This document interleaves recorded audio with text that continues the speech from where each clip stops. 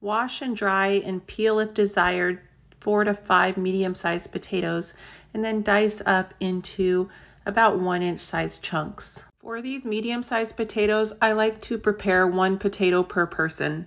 In a mixing bowl, combine the potatoes with the olive oil, salt, and pepper and mix. Set your air fryer and preheat if necessary, and then add the potatoes to the air fryer basket.